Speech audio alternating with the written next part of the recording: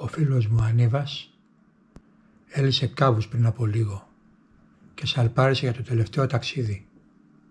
Ανήμπορος να συμβιβαστεί με την ακινησία και τη δύσπνοια στην οποία τον καταδίκασε η αρρώστια του.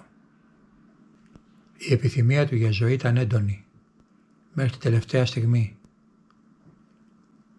Το έβλεπα στα μάτια του καθώς με κοιτούσε την τελευταία μέρα που τον συνάρεσα στο σπίτι της αδελφής του μετά το εξητήριό από τον Ευαγγελισμό. Τραγική ηρωνία η επιθυμία μου να τον επισκεφθώ αύριο το πρωί στο Ίδρυμα Φροντίδας Ηλικιωμένων όπου φιλοξενείται εδώ και δέκα μέρες. Τόση ήταν η διάρκεια της προληπτικής καραντίνας στην οποία για προληπτικούς λόγους τον είχαν βάλει οι γιατροί του Ιδρύματος. Του είχα υποσχεθεί ότι θα, τον, ότι θα τον δω μόλις λήξει αυτό το δεκαήμερο, αλλά δεν πρόλαβα.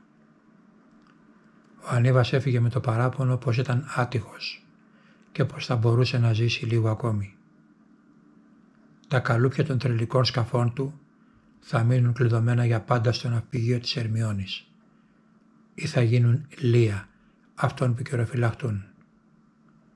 Ο τηλεομανής Ανίβας το ταλέντο αυτό της ναυπηγικής τέχνης δεν κατάφερε να μεταλαμπαδεύσει τη τέχνη του αυτή σε κάποιον νεότερο. Δεν κατάφερε να εξασφαλίσει διάδοχη κατάσταση για τα θρηλυκά σκάφη του. Δεν θα μπορέσει πια να μου τηλεφωνήσει και να τον βοηθήσω. Καλό ταξίδι φίλε.